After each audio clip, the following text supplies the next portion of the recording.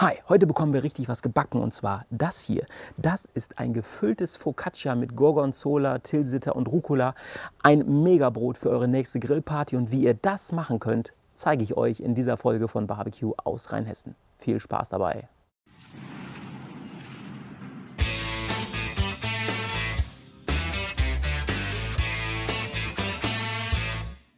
Hier seht ihr jetzt erstmal die erste Runde der Zutaten, die ich für mein Focaccia mit Käse und Rucola brauchen werde. Das Rezept habe ich von meiner Lieblingsinsel Mirihi mitgebracht. Felix Barmert, der Koch, war so lieb, mir das Rezept zu geben. Und Leute, schnallt euch an. Dieses Brot ist der absolute Wahnsinn.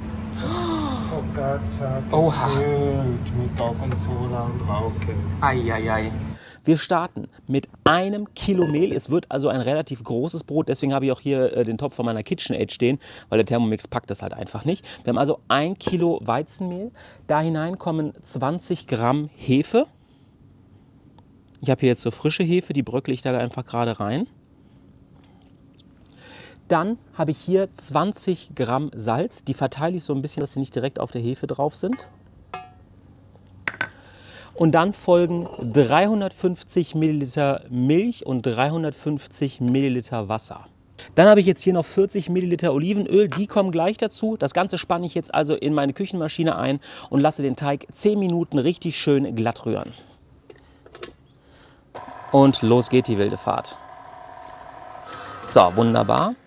10 Minuten später ist unser Teig gut verknetet.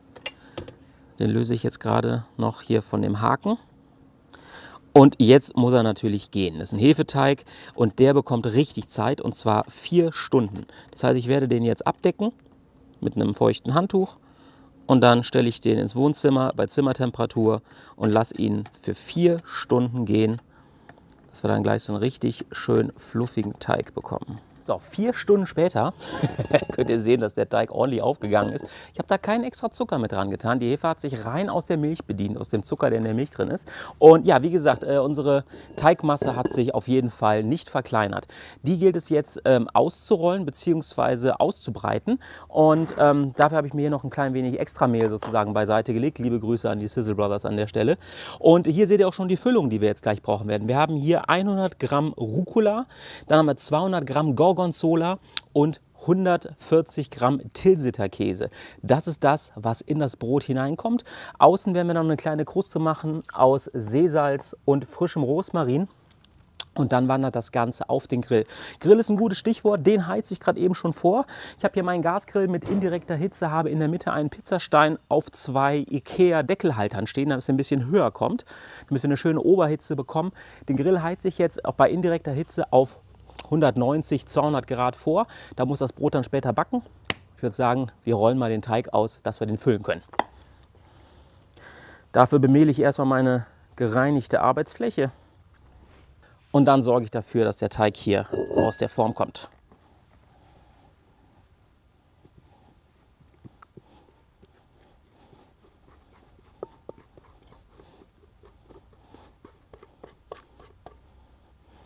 So, jetzt können wir den Teig hier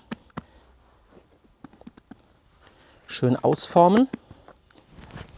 Dabei uns natürlich komplett einsauen, das ist natürlich vollkommen richtig so und gewollt. Wichtig ist halt einfach wirklich, dass ich den Teig jetzt nicht mit einem Nudelholz bearbeite, sondern ihn einfach wirklich nur mit den Fingern auseinanderziehe. Wichtig ist, dass auch genug Mehl drunter ist, dass das Ganze eben nicht nach Möglichkeit nicht anklebt.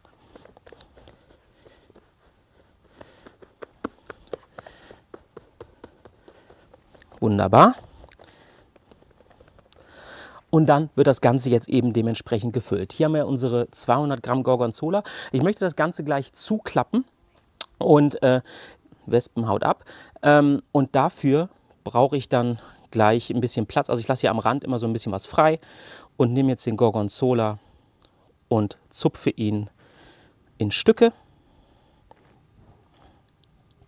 So, den Käse dann so ein ganz klein wenig auch in den Teig reindrücken. Gleiche gilt dann für den Tilsiter, den auch gerade einfach in Stücke reißen. Und dann verteilen und auch so ein klein wenig in den Teig drücken. So, und jetzt habe ich hier den Rucola. Den platziere ich jetzt da oben drauf.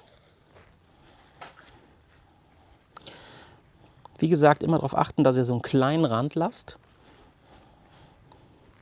Und das sieht jetzt viel aus mit dem Rucola. Natürlich wird der gleich beim äh, Backen des Brotes noch äh, in sich zusammenfallen. So, dann nehme ich mir jetzt die andere Hälfte des Teiges und schlage sie über den Rucola drüber, dass wir das Ganze so schön zukriegen. Und jetzt ist natürlich wichtig, dass wir hier die Ränder umschlagen, dass das Ding ordentlich dicht ist. Da werden wir gleich auf jeden Fall einen Pizzaschieber brauchen, um das Ding heiler auf den Grill zu kriegen. Wie gesagt, Pizzastein liegt schon drauf, der heizt jetzt vor. Das Brot lasse ich jetzt erstmal noch so für 10 Minuten liegen. So, der Pizzastein ist ordentlich vorgeheizt. Jetzt bepinseln wir das Brot außen noch ein wenig mit Wasser. So, und dann habe ich hier frischen Rosmarin. Da zupfe ich mir einfach so ein paar Zweige runter, beziehungsweise Nadeln. Verteile die hier so über dem Brot. Das, das Ganze sozusagen von außen noch mal ein wenig aromatisieren. Und dann habe ich hier Meersalz.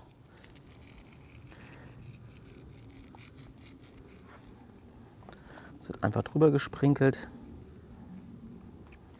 So, und jetzt habe ich nicht ein, sondern zwei Pizzaheber hier. Die werden wir sicherlich auch brauchen.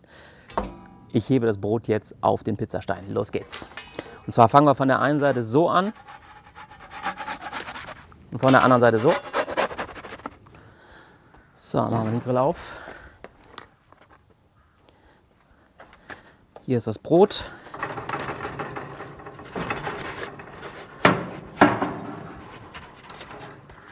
Vorsichtig auf den Pizzastein draufgeben.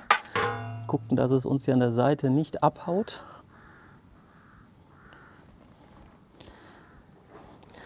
Ein Kilo ist vielleicht doch ein bisschen viel. So, und jetzt mache ich den Deckel zu und lasse das Brot jetzt für eine Dreiviertelstunde bei 190 Grad backen. So, liebe Leute, eine Dreiviertelstunde ist rum bei 190 Grad und schaut euch dieses Kunstwerk an. Das ist ja der Hammer. Schön kross außen, so wie es sein soll.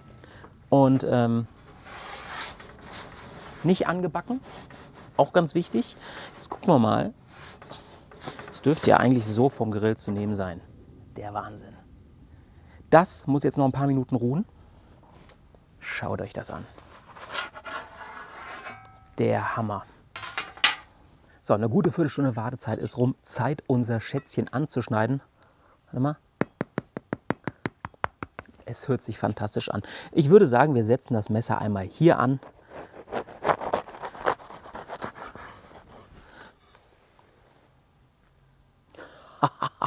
Schaut euch das an. Perfekt. Perfekt. Es ist wirklich wichtig, dass ihr es eine Viertelstunde, 20 Minuten liegen lasst. Wirklich wichtig, ne? weil sonst einfach der Käse euch den Abmarsch macht. Und jetzt schneide ich mal hier so eine Tranche runter. Super luftig ist das Ganze. Schaut euch das an. Hier in der Seite der Käse. Oh, mega. Tja, Freunde, dann bleibt mir jetzt nur noch, mir so ein Stückchen hier zu nehmen und dann beißen wir mal rein. Es ist einfach unfassbar. Das Brot ist super saftig. Ihr habt außen schöne Kruste, dann das saftige Brot, dann den Käse mit dem Rucola zusammen. Es ist wirklich ein Traum. Es ist eine perfekte Beilage zum Grillen für eure nächste Grillparty. Ähm, wenn ihr das Brot hinstellt, glaubt mir, das wird im Nu weg sein. Das auch mit einem Glas Rotwein richtig, richtig geil. Und, ähm, aber das hier ist, das ist einfach wirklich, das Ding ist perfekt. Ich muss hier nochmal. Stück wird immer kleiner. Es ist einfach so unfassbar lecker. Das, Leute, wie gesagt, die perfekte Beilage für eure nächste Grillparty. Ich bin mir sehr sicher, von diesem Brot werden keine Reste bleiben. Unfassbar lecker. Ich habe das, wie gesagt, im Urlaub auf meiner Lieblingsinsel essen dürfen und ähm, ja, ich war sofort schockverliebt. Und dieses Rezept musste ich euch unbedingt zeigen. An dieser Stelle nochmal Felix Barmet. Vielen lieben Dank dafür, dass du mir das Rezept gegeben hast. Das ist eine unfassbar geile Nummer. Die solltet ihr auf jeden Fall nachmachen und da wünsche ich euch ganz viel Spaß dabei. Ich hoffe, ihr habt auch Spaß an dem Video. Wenn dem so ist, freue ich mich wie immer über einen Daumen nach oben und freue den Kommentar. Solltet ihr noch kein Abonnenten des Kanals sein, keine könnt ihr das unten unter dem Video auf kostenfreier Ehrengriller-Basis machen. Das würde mich sehr freuen. Ansonsten, wer bei Instagram ist, der hat hier von einer Insta-Story gesehen. Schaut also gerne bei Barbecue aus Rheinhessen vorbei. Da seid ihr einfach näher dran. Lohnt sich also absolut. Das war's für dieses Mal. Vielen lieben Dank fürs Zuschauen. Ganz viel Spaß beim Nachbacken. Macht's gut, euer Jörn von Barbecue aus Rheinhessen. Bis dann.